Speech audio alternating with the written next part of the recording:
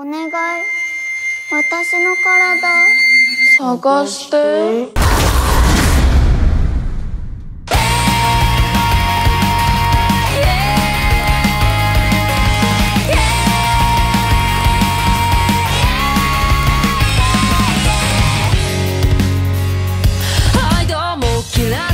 体探しのこと教えてください。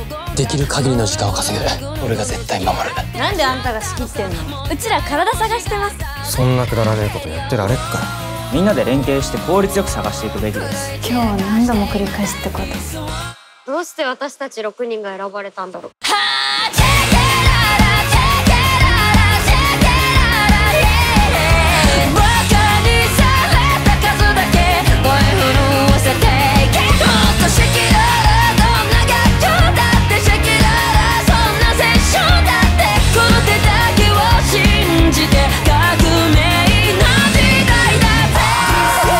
俺が絶対守る。